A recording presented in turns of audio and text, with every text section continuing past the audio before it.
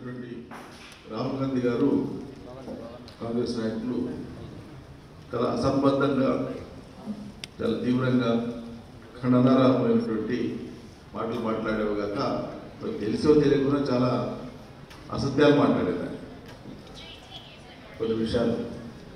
రాజకీయంగా చేసిన ప్రసంగం అంతా కూడా దురుద్దేశంతో కూడింది అక్కస్తో కూడింది.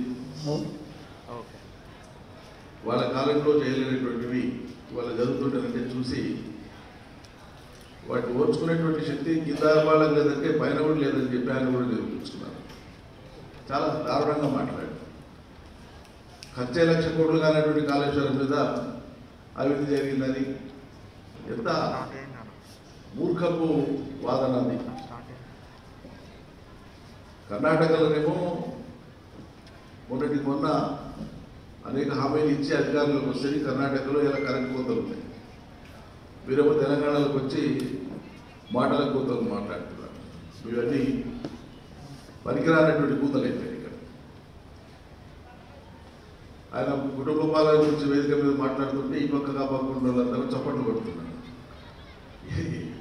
ఇంతకంటే హాస్యాస్పదమైనటువంటి విషయం కదా భారతదేశంలో అసలు. రాహుల్ గాంధీ గారు కుటుంబ పాలన గురించి మాట్లాడడం కంటే హాస్యాస్పదమైన విషయం ఇంకేమంటుంది ఈ దేశంలో ఐదు తరాల కుటుంబ వారసత్వం వాళ్ళది. వాళ్ళు మాట్లాడితే ఎట్లా? ఏది అతుకుతుంది ఏది అతుకుతుంది అనేటువంటిది అసందర్భంగా మాట్లాడడం అనేటువంటిది ఇక వాళ్ళకే చెల్లింది ఇక స్కామ్ల గురించి అవినీతి గురించి. కాంగ్రెస్ పార్టీ అది ఎంత తక్కువ మాట్లాడితే అంత మంచిది. దివంగతుల మీద మాట్లాడడం మాకు ఇష్టం లేదు. కానీ ఒక రాజకీయ పరిణామం దేశంలో జరిగినటువంటి అంశాన్ని ప్రజలు గుర్తు చేయడం కూడా అవసరం. మరి ఇలాంటి మాట్లాడినప్పుడు మేము జవాబు చెప్పకుండా ఉండలేదు. బోఫోర్స్ ఎవరి హయాంలో జరిగినటువంటిదండి? తెలంగాణ ఇవాళ తొమ్మిదిన్నర సంవత్సరాల కాలంలో వివిధ రంగాలలో సాధించినటువంటి ప్రగతికి సంబంధించినటువంటి అంశాల మీద ఒక్కనాడైనా రాహుల్ గాంధీ గారు మాట్లాడితే బాగుండేది. దేశంలో తలసరి ఆదాయంలో నెంబర్ వన్ ఉన్నటువంటి తెలంగాణ గురించి మీకు మాట్లాడడం కదా. ఈ దేశంలో అతి వేగంగా ఉపాధి కల్పన కల్పించినటువంటి సేవా రంగాలు కానీ ఐటీ రంగాలు కానీ పారిశ్రామిక రంగాలు కానీ మీ కళ్ళ కనిపేవా మీరు పంజాబ్ ఉదాహరణగా చూపిస్తూ వచ్చినారు ఇంతకాలం సస్య విప్లవం అని ఇదని అదని అనేక సందర్భాల్లో. మరి అలా పంజాబ్ను తలదనేటువంటి రీతిలో తెలంగాణ వ్యవసాయం వృద్ధి చెంది దేశంలో నంబర్ వన్ వరి పండించేటువంటి రాష్ట్రంగా ఇవాళ తెలంగాణ నిలబడింది కళ్ళ కనిపించదా ఇవన్నీ వాస్తవాలు కదా? రుణమాఫీ గురించి మాట్లాడిన కనీసం సమాచారం అనేది తీసుకోవాలి. రుణమాఫీ ఎందుకు మాట్లాడతాడు ఇప్పటికీ రుణమాఫీ కింద పదమూడు వేల మూడు వందల ఇరవై ఐదు కోట్ల రూపాయలు తెలంగాణ రైతాంగానికి ఈ దఫా రుణమాఫీలో. ఇటీవల ప్రారంభించినటువంటి రుణమాఫీ చెల్లింపులలో రైతాంగానికి పదమూడు వేల మూడు వందల ఇరవై ఐదు మంది కోట్లు ఇరవై ఎనిమిది కోట్ల రూపాయలు ఇరవై మూడు లక్షల అరవై రెండు వేల మంది రైతులకు చేరిపోయినాయి ఇప్పటికే. మిగిలినవి కూడా పైప్ లైన్లో ఉన్నాయి. కంటిన్యూస్ ప్రాసెస్ నడుస్తూనే ఉంటుందని చెప్పినాం. ఎవ్రీడే క్లియర్ అయితేనే ఉన్నాయి. అవగాహన లేదా లేకుంటే సమాచారం లేకుండా నాయకుల నుంచి ఏది మాట్లాడితే అది నడుస్తుంది అనుకుంటున్నాం. వచ్చిన ఎనిమిది పది వేల మంది జనానికి అదో పెద్ద ప్రపంచం దద్దరిల్లిపోయినట్లుగా మీరు మీరు భ్రమించుకొని సంకల్పాలు జరుచుకొని రోడ్డుకు వచ్చిందల్లా మాట్లాడతారంటే ప్రజలు హర్షించరు.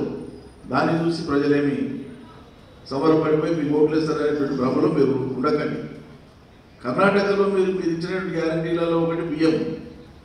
బియ్యం సరఫరా చేస్తారు చేతులు తెచ్చింది పక్క రాష్ట్రాలకంతా లెక్కలు రాస్తున్నారు. పక్క రాష్ట్రాలకంతా దేయం చేతులు దాపుతున్నారు? బియ్యం కావాలని. బియ్యం ఇయ్యలేకపోయినారు బియ్యం ఇయ్యలేని పరిస్థితులలో నగదేమని ఇవ్వగలమా అనేటువంటి అదొక ఆలోచన. మీరు ఇచ్చిన గ్యారంటీలకు ఇంకో కర్ణాటక సంబంధించినటువంటి ఒక మంత్రి సాక్షాత్తు మంత్రి మాట్లాడినటువంటి మాట ఐదు గంటలకు మించి కరెంట్ ఇవ్వలేని పరిస్థితి ఉంది కర్ణాటకలో మాట్లాడి ఏం చెప్తారండి? రాహుల్ గాంధీ గారు మీ గ్యారంటీ తురా తురకలైపోతున్నాయి ఎప్పటికప్పుడు. మీ గ్యారంటీలన్నీ కూడా తురకలైపోతున్నాయి.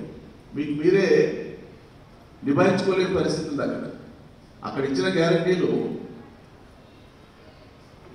ఒకటి రూపు దాలుస్తలేదు. రైతులంతా కూడా అలమటిస్తున్నారు అక్కడ.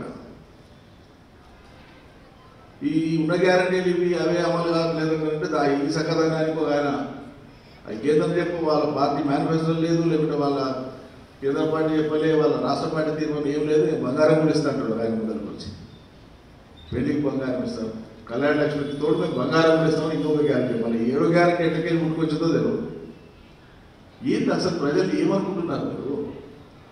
వచ్చి ఏది వస్తే అది మాట్లాడితే ప్రజలు ఆమోదిస్తారనుకుంటారా? దేనికైనా ఒక లెక్క పత్రం అంటూ ఉండాలి కదా. ఇప్పుడు పోడు సమస్య ఏందో మాట్లాడతాడు ఏం వస్తే మాట్లాడతాడు మీ పాపపు పరిపాలన ఫలాలు ఇవన్నీ కూడా.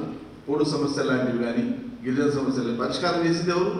మేము చేస్తాం నాలుగు లక్షల ఎకరాల పోడు భూములకు పట్టాలు ఇచ్చి రైతు మంది ఇచ్చినటువంటి గంత ప్రభుత్వం అది కాదా?